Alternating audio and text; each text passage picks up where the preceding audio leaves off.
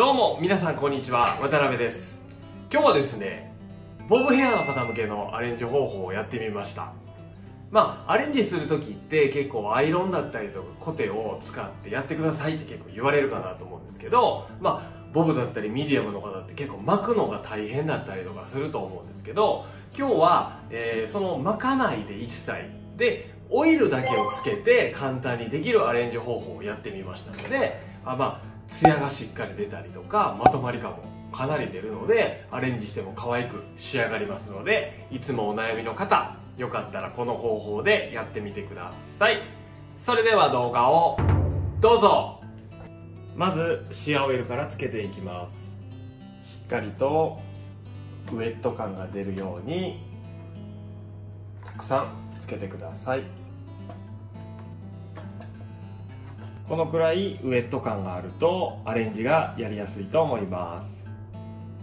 次に顔周りの遅れ毛を下ろします。だいたいこう前髪とサイドの間を埋めるぐらいの幅で今回は下ろしていきます。襟足以外の髪の毛を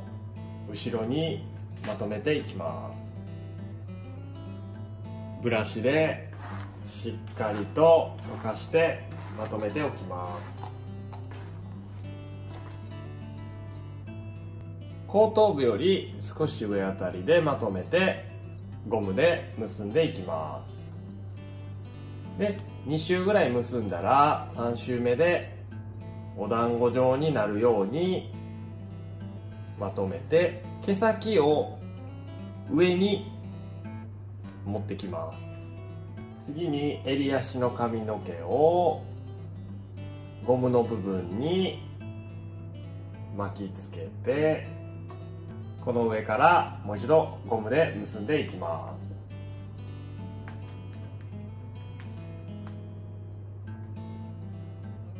この時に毛先の部分がこうやって出てきたりとかするんですけど、まあ、この辺はちょっともう短いので出てきてしまうのでちょっと無視しといてください。